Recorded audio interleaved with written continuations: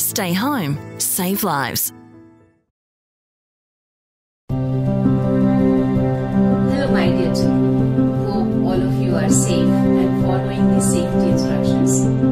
हमारा आज का पाठ कक्षा पाँच के लिए यह है आपकी टेक्स्ट बुक मधु हिंदी पाठमाला के पाठ एक से लिया गया है ये पाठ एक कविता है जिसका शीर्षक है नव इतिहास रचाएँगे और जिसके कवि हैं श्री श्याम सुंदर श्रीवास्तव इस कविता के माध्यम से कवि आपको ये सिखाना चाहते हैं कि यद्यपि आप अभी बहुत छोटे और नन्हे बालक हैं, लेकिन फिर भी आपके अंदर अदम्य साहस और ऊर्जा भरी हुई है। इसी साहस और ऊर्जा के बल पर आप अपनी छोटी सी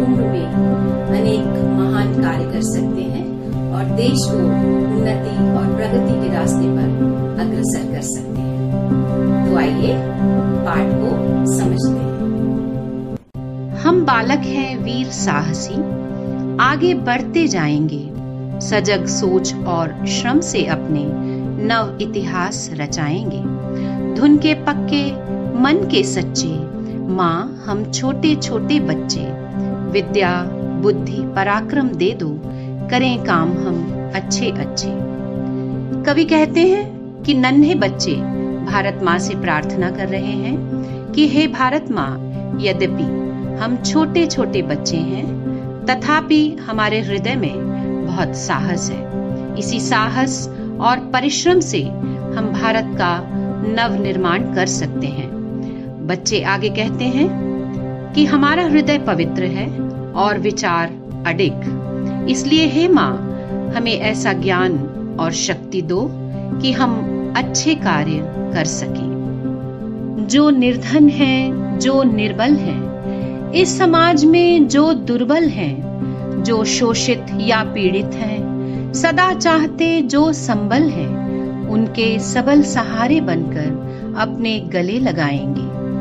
अपनी धरती, आली धरती, खनिज संपदा वाली धरती भिन्न संस्कृति, भिन्न भाषाएँ, भिन्न भिन्न धर्मों वाली धरती।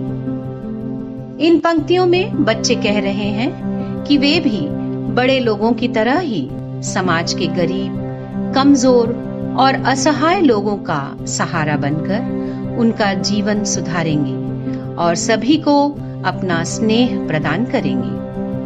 कवि आगे कहते हैं कि हमारी ये भारत भूमि हर तरह से परिपूर्ण और महान है, जिसमें भिन्न भिन्न संस्कृति, भाषा और धर्म को मानने वाले लोग आपसी सद्भावना और प्रेम के साथ मिलजुल कर भाईचारे के साथ रहते हैं।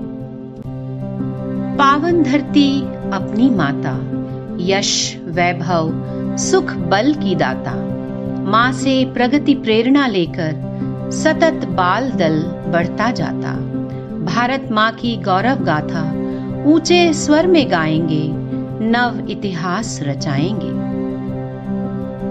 इन पंक्तियों का अर्थ है, मेरी पवित्र भूमि, जो हर भारतवासी का गौरव, समृद्धि, सुख और बल को बढ़ाने वाली है।